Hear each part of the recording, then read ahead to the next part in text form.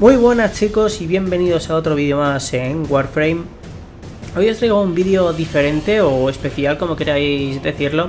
Es para la gente que está en el clan de Warframe y en especial para los nuevos miembros que, vaya viendo en el clan. Es para decir más que nada dónde está cada cosa dentro del dojo. Porque la verdad que sí, es cuando entras, eres nuevo o, lo que sea, es muy, muy lioso todo, encontrar todo en el, en el dojo, saber para qué sirve y todo eso. Entonces, más o menos voy a ir explicando cada cosa y voy a empezar por las más importantes. Bueno, una vez que ya te has creado la, llave del clan, que, se, que una vez que tú unes a un clan ya la tienes en la fundición, o sea que no hay que comprarla ni nada, ya la tienes ahí. Una vez que la creas, que son 12 horas me parece, no es exactamente los materiales que se necesita, pero sé que son 12 horas. Una vez que ya... bueno, 12, 8, no lo tengo muy seguro. Bueno, una vez que ya te has creado la llave, ya puedes entrar. Me parece que no puedes entrar con invitación de otro miembro del clan. Así que hay que hacerse la, llave obligatoriamente. Luego, una vez ya te has creado la llave, ya puedes entrar y apareces aquí. Nada más entrar, apareces aquí. Cambié el punto de, aparición, de spawn. Lo puse en esta zona, ya que aquí es donde están todos los laboratorios para tenerlo más centrado. Bueno, una vez que, entramos, aparecemos aquí. Y aquí, eh, si vamos al mapa, eh, tenemos en esta sala donde estoy yo, veis ahí el triangulito, tenemos cuatro salas. En esas cuatro salas son los, cuatro laboratorios que hay. Tampoco me los conozco de memoria, o sea que yo voy entrando y donde, donde lo veo. Bueno, aquí tenemos el, primer laboratorio, el Corpus, me parece que es, creo que sí. Y aquí, bueno, pues tenemos todas las armas Corpus. Eh, explicar también que para, hacerte cada arma de, de, este tipo, creo que no te lo ponen si clicas, me parece que no. Mm, vamos a ver, replicar. Sí, te lo pone. Aquí te pone los fieldrones que necesitas y también las formas, porque para todas las armas de laboratorio, o casi todas, yo creo que, yo creo que prácticamente para todas, se necesita mínimo una forma para, para crearla, o sea, obligatoriamente una forma. Y luego eh, algún material de este estilo, tipo fieldron, eh, masa, eh, no, masa mutágena o inyector de tonite.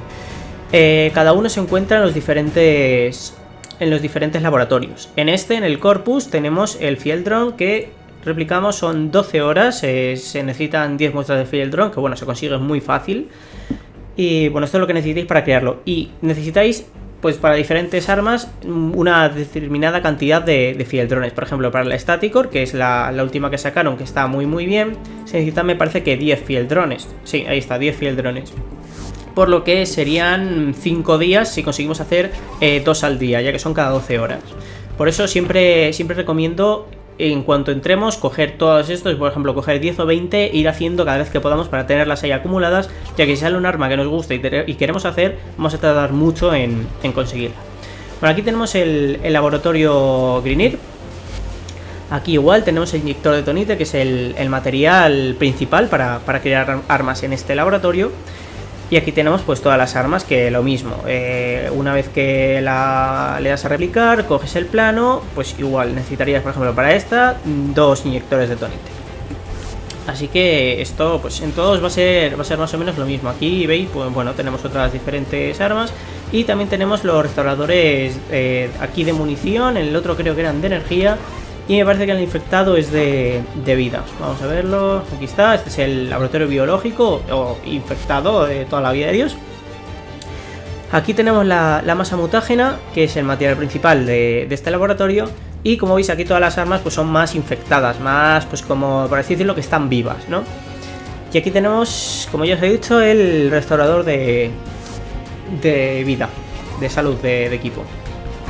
Bueno, Ahora vamos a ir por aquí, que este es el laboratorio Tecno. Este es el que el que no hay que... no tiene un material específico como tienen los otros. Como veis aquí, tú le das a, por ejemplo, las castanas mismo, le das a replicar y aquí está, no tenemos ningún... A ver si baja, ahí está. No tenemos ningún material raro, excepto la forma, eso siempre, siempre vamos a tenerla en este tipo de armas, pero no tenemos un material raro como puede ser la, el field drone en el corpus y, y todo eso que teníamos en los otros. Bueno, ya vista toda esta sala, que es la de, la de laboratorios, vamos a ir a la siguiente, que sería más o menos la de intercambios.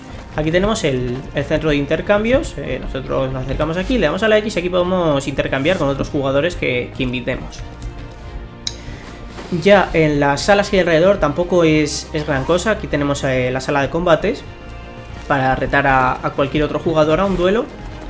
Y aquí ya son los los ampliadores de capacidad, pues no sé cómo se llaman realmente, no me acuerdo del nombre, pero eso es lo que permite que, el dojo cada vez sea más grande. Bueno, ahora subiremos a, la planta de arriba.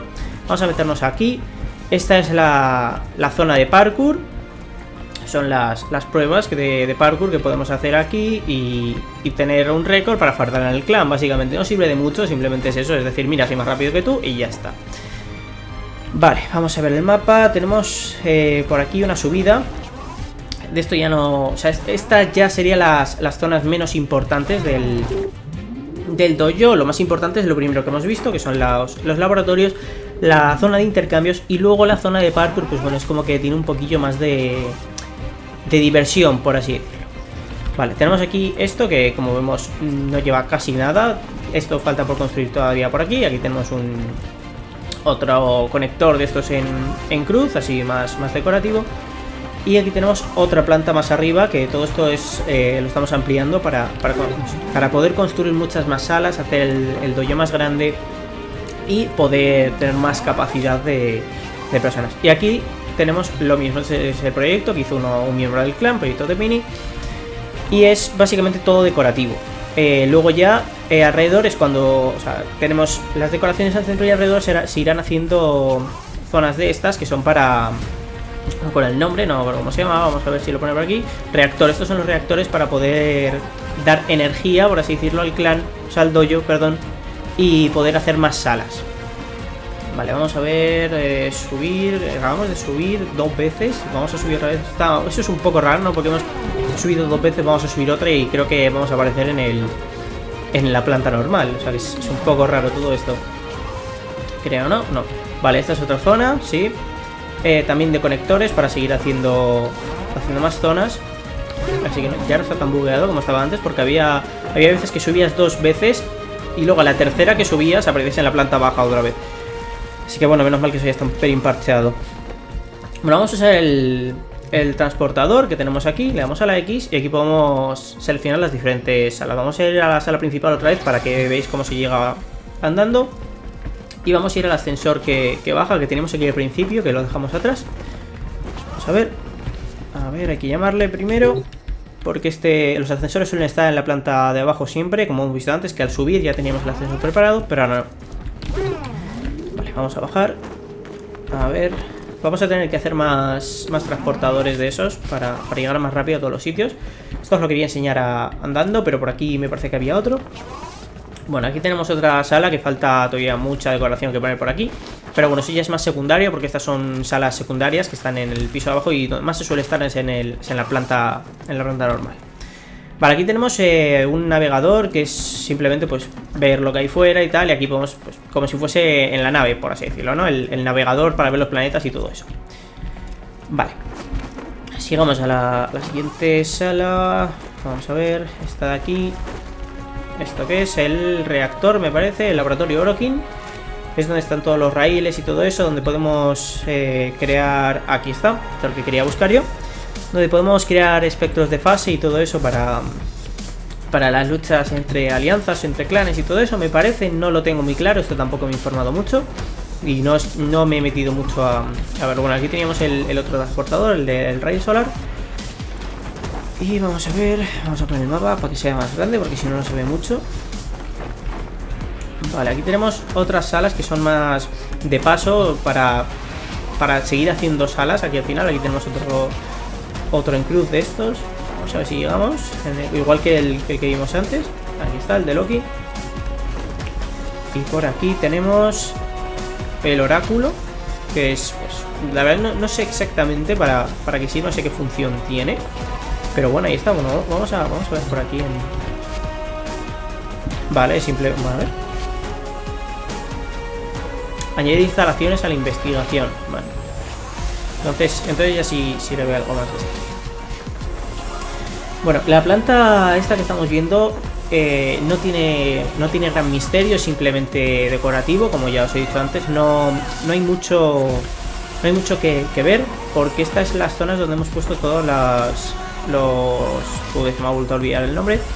Ahí están los reactores para... Mm, de hecho lo pone por aquí, reactores son requeridos para satisfacer las necesidades energéticas de la estructura. Esto para crear em, salas, me parece. Vamos a ver si podemos crear alguna por aquí. Ah, bueno, esta ya está... Se necesitan... A ver si encuentro algún espacio, simplemente para enseñarlo, no, tiene gran cosa. Es para crear eh, diferentes diferentes salas. Es como, como la pila que. la pila o batería que tiene el clan, por llamarlo de alguna manera, para poder hacer salas y que consuman la energía de ahí. Ya llega un límite en el que no puedes hacer más, pues tienes que ir haciendo reactores de Por eso tenemos la planta de abajo es donde decidimos hacer más reactores. Y en el proyecto de Pini también teníamos pensado alrededor poner reactores. Bueno, pues yo creo que esto es todo lo, que hay que enseñar del, del dojo, ya que lo más importante es lo que se encuentra aquí en, esta sala aquí, que es la sala de intercambios. O sea, perdón, esta es la sala de intercambios, esta es la sala de laboratorios y luego el lo de para retar duelos a, diferentes Tecnos, Warframe, lo, como queréis llamar. Así que nada, este ha sido el vídeo informativo, estará en la, en la página del clan que tenemos. En la página principal de Dark Destroyers estará ahí toda, toda la información. Así que nada chicos, espero que os haya gustado y más que gustado servido este vídeo, sobre todo a los miembros nuevos del, clan, para que sepan dónde está todo del dojo, dónde, están los laboratorios, cómo utilizarlos, porque al principio he tenido una, breve explicación de, qué hacer en cada, en cada laboratorio y para qué sirve el material principal y todo eso. Así que nada, lo dicho, espero que os haya gustado este vídeo, que dejéis un like si ha sido así y nos vemos en el próximo vídeo. Adiós.